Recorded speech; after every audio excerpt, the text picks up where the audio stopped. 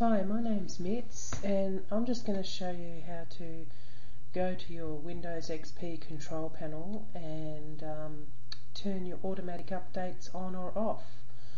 Okay, so what we're going to do first is we're going to go down to the Start menu and we're going to browse and look for control panel. Okay, so press on that and now we're going to look for the automatic updates icon. There it is there. It's all in alphabetical order, so it'll be up the top somewhere. And double click on it. Okay, so there we go. There's the automatic updates dialog box. Um, you've got a few choices here. You can put it on automatic.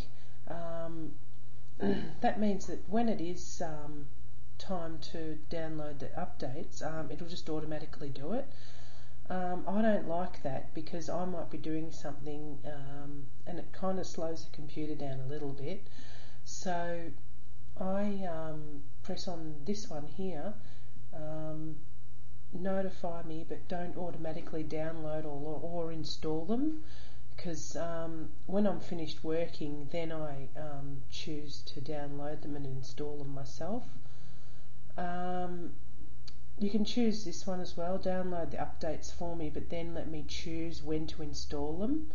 Uh, that way you can choose which ones you want to install and which ones you don't. Um, also, you can turn them off completely if you like.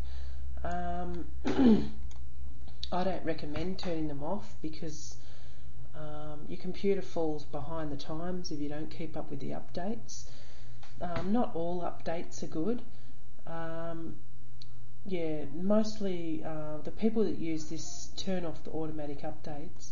Um, that's probably um, sometimes people do that when they've got an illegal copy of Windows um, because when um, Microsoft is checking on them through these updates, uh, seeing if they have got a legal copy or not.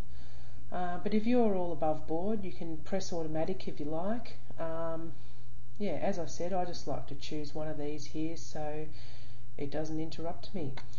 Okay, there's another way to get to automatic updates as well. If you're still in the control panel, if you just go down to security, you can double click that. And here we go, we have uh, firewall, automatic updates and virus protection. Okay, so we just go down the bottom and it says manage the settings for internet options, Windows firewall or automatic updates. So if you press on that, um, the same box come up that I just showed you. Alright, that's it. Thanks for listening.